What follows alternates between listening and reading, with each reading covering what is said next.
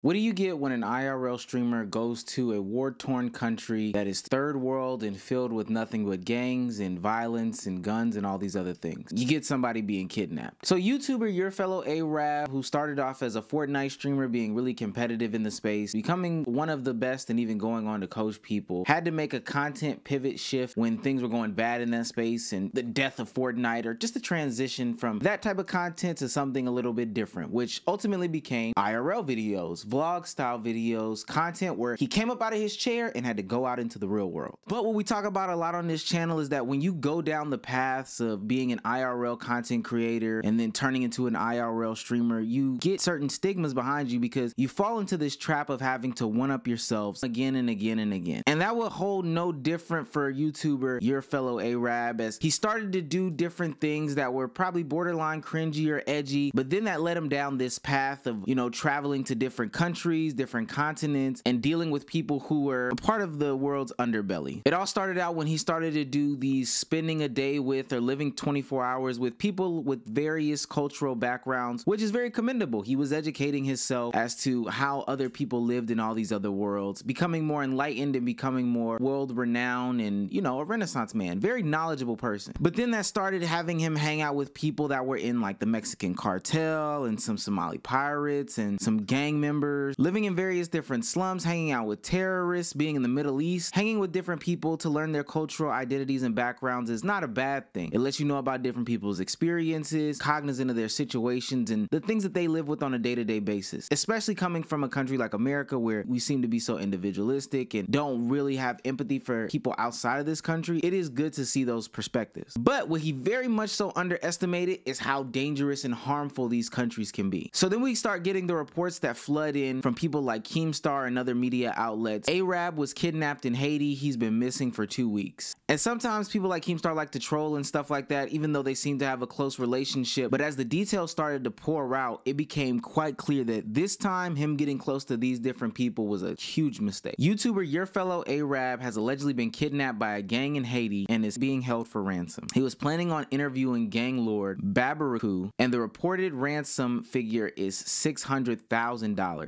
Arab and I had exchanged messages in the past way before this incident and he came across as a genuinely kind-hearted guy or good person, sending prayers in hopes he comes out of this safely. Now, I would like to think that Arab had great intentions for what he was doing. I've even seen some of his other videos and he does seem like a genuine guy. However, in the back of my mind, I could only think that this has to be a dumb move every single time he did it. And of course, he came out alive or unscathed in a lot of these situations, but to test your luck like that time and time again could not be the best way to play the hands that you're dealt with. They even have a picture of the guy right here, Lanmo Sanjou, who they're saying is the person in Haiti who has captured him. This guy is wanted by the FBI in the United States because apparently he is so organized and does so many mass kidnappings that it is ridiculous. Like last year, Haiti reported 3,000 kidnappings, and this guy is supposedly over the top of the kidnapping sex work conglomerate that is going on in Haiti right now. And we even have a video of the guy that he was supposed to be interviewing down in Haiti to get an understanding as to what's going on in that country.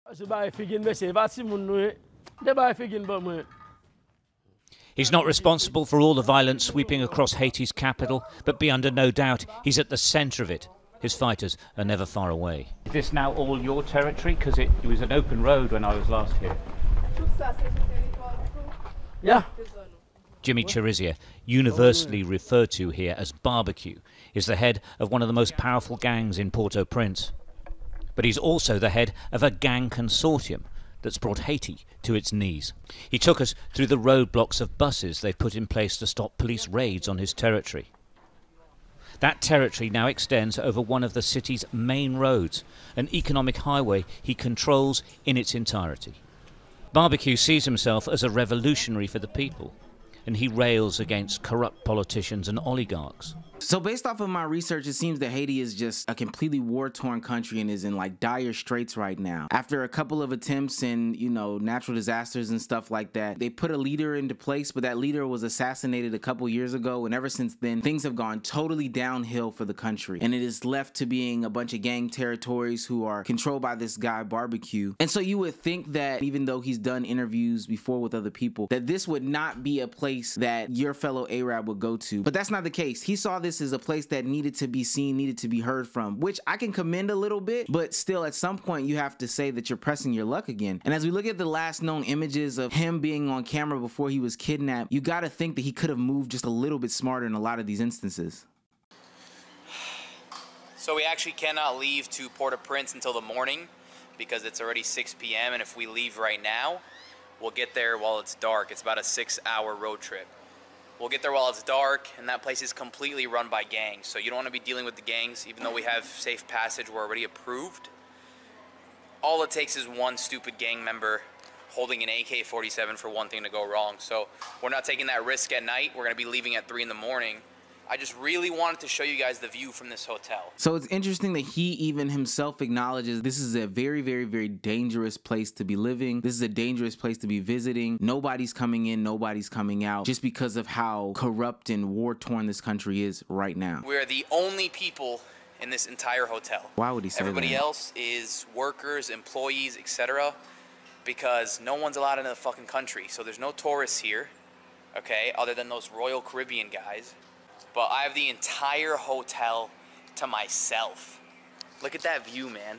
You got the mountain range, you got the sun setting, okay? You have entire Cap-Haïtien over here, and we've got a pool, which I wasn't gonna take advantage of, but how many times in your life are you the only person in an entire hotel because the country's completely shut down, no one should be coming in, and you're just a retarded YouTuber. I think you acknowledging that multiple times in the video signifies how dumb you are. You continuing to say that time and time again, letting people know that, hey, I am rolling a certain way. I am being paraded around the city in a certain type of way. Now, he does go around with some sort of security. He does have some of these things, but none of the parameters that he has set in place ultimately prevented these situations from happening. And it seems that social media took wind to this and they started commenting on it, and people seem to be a little torn on the ways that they reacted to this. He has some friends on the internet, his editor and stuff that have commented. This is from Laylim, a friend of his. Tried keeping it private for two weeks, but is getting out everywhere. Yes, Arab has been kidnapped in Haiti, and we're working on getting him out. Love y'all. He'll be out soon. And even a good friend of his and a good friend of ours on the show, Sneako, had some commentary about him being kidnapped as well. Arab has been kidnapped in Haiti. He's been kidnapped for 15 days.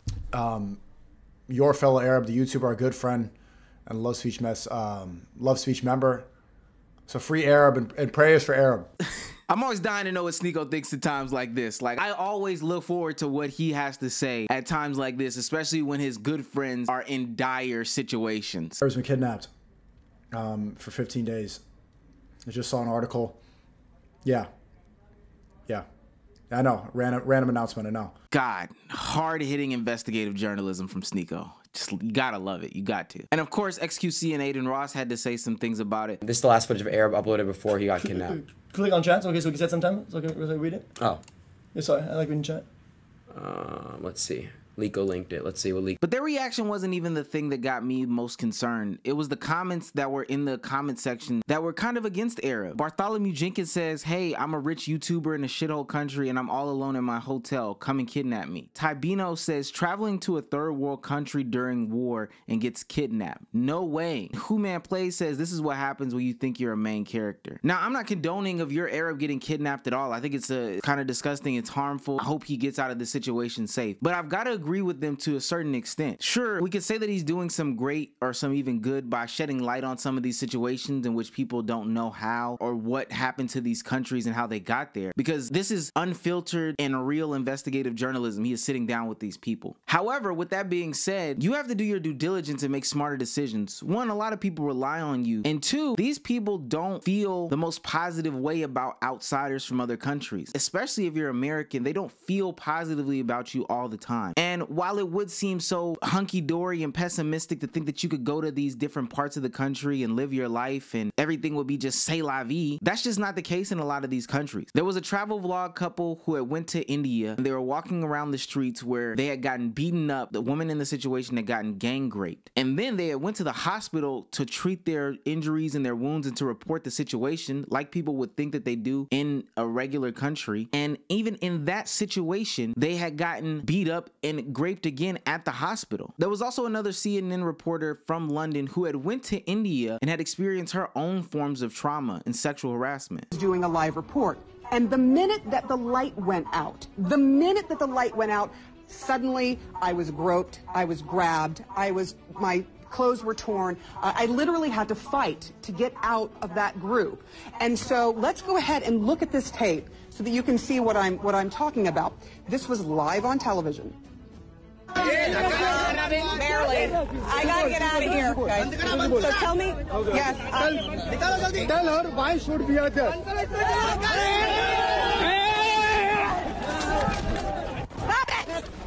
The dangers of going to these other countries, especially for somebody who's not totally familiar with the surroundings or does not look like somebody from these countries already, are overwhelming and they're undeniable, to be quite honest with you. If I were a lot of people, especially during this political climate, this economic climate, and things like that, I wouldn't be looking to travel to any sort of countries like this that aren't developed to the extent of like the US or some of the European countries. We can see in plenty of examples, like ones that I showed or Brittney Griner, that as an outsider, you will be totally treated differently than if you were an insider in the country or if you were somebody that looked like a familiar face. And because they don't have the same laws, rules, and regulations that govern us as American people, you've got to be extremely careful. I, I would like to say that, hey, what he does, your fellow Arab as a content creator, is very necessary for a lot of people. But if it means risking life and limb, then I don't know if I would implore him to continue down these paths. I hope he does get out, and I hope some of his streamer friends or whoever can help pitch in because it looks like this guy had struck lightning in a bottle with being able to reinvent himself in the content creation space, which is very hard to do. I hope nothing but good luck and good wishes to him. Prayers up to your fellow Arab for real, for real. So I was late putting this video out because I had some editing issues, but I'm glad I waited because we have some breaking news. It seems that your fellow Arab has been released from his captivity. And of course, he had to take to Twitter to let everyone know who was concerned about him and his well being that he was now released. He says, I was kidnapped purely for the color of my skin. I was kidnapped for being a blanc. And when we do a Google translate of that word, blanc of course means white. Can't give any more details till I'm home, but all I will say for now is glory be to God, released between Good Friday and Easter, Christ is King. When you're kidnapped in the middle of the Haitian desert, 60 minutes away from any civilization, in a concrete shack surrounded by barbed wire, you don't pray to a rainbow flag, you pray to God. Now, I would like to say, of course, that it is great that he was able to be freed, uh, specifically on Easter, you know, weekend and Good Friday and all that stuff, but the unnecessary jab at the LGBTQ community just showed us that he's an asshole at the end of the day. I did get some more backstory on the guy, and it, it seems like he's not the best person in the world, but what did I expect from an IRL streamer? Especially he's going on Twitter saying the N word, and he's clearly a white man. Listen, I think that there is a lesson in all of this stuff. Don't go to any countries if you don't know the climate, even if you're doing it for investigative journalism reasons. But, you know, what do I know in all this?